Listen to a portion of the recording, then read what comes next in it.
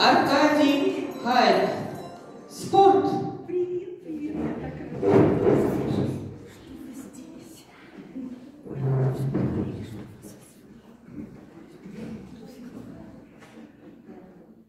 Вызывает меня директор ресторана и говорит, мы выставляем вас на соревнования по боксу. Я говорю, а почему я? Наш швейцар есть. А у нас бокс любительский, а не профессиональный. Я говорю, ну я же боли боюсь.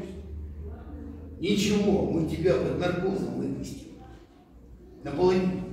Я говорю, а почему наполовину? А у нас бокс. Там у них ниже пояса все равно не пил. Ну, в общем, иди вниз, найди грушу и поколоти. Я вниз спустился, нашел грушу и сразу ударил.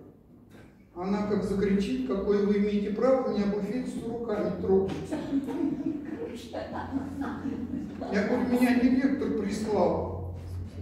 Она говорит, как коньяк избавляет, сам приходит, а как морду бить другого присылает. И, в общем, мне такой скандал устроило, что я теперь плохо предметы различаю. Ну, в общем, на ринг я все-таки попал. Кроме меня там еще двое были. Один белые рубашки и бабочки. Ну, видимо, официант. А второй в одних трусах и маленький. Ну, видимо, клиент, который уже рассчитался.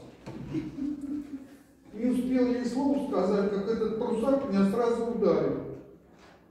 Я очнулся, в глазах темно, а этот с бабочкой чего-то считает. Я говорю, ты что мутную личность делаешь?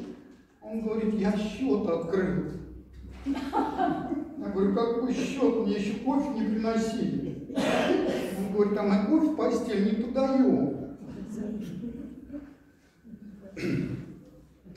Ну, в общем, когда меня в раздевалку принесли, доктор сказал, мы тебя за неделю на ноги поставим. Так что еще успеешь подготовиться к скачкам. Я говорю, какие скачки? Я же лошадей с детства боюсь.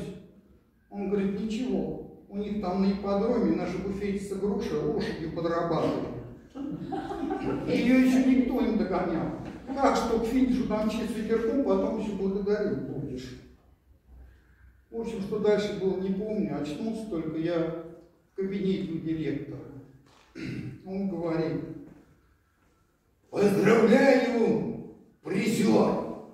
Мы тебя выставляем на соревнования по парашютному спорту.